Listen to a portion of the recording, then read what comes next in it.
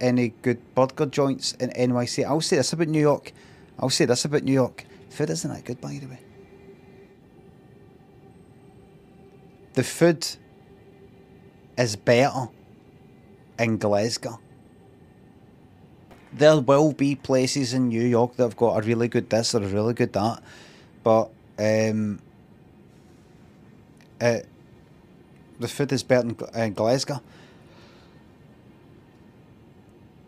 Really? Did I try every fucking food place in the whole of Manhattan? No.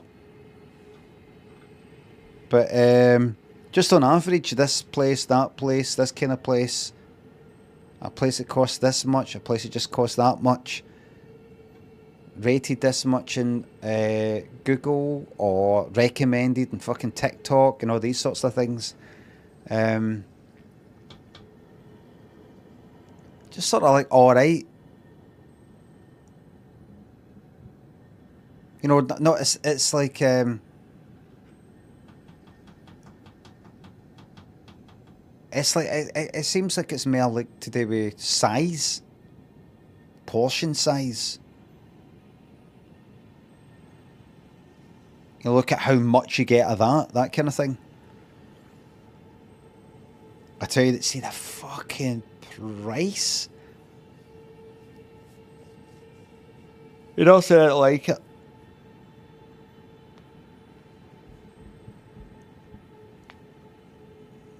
What I'm saying is, see the see the food that I liked there. I, I liked right. I liked the food there, but it's no like. Oh, you've got to go to New York to get this. When when you're in New York, you've got to get that. I'm telling you right now, you can get it in Glasgow.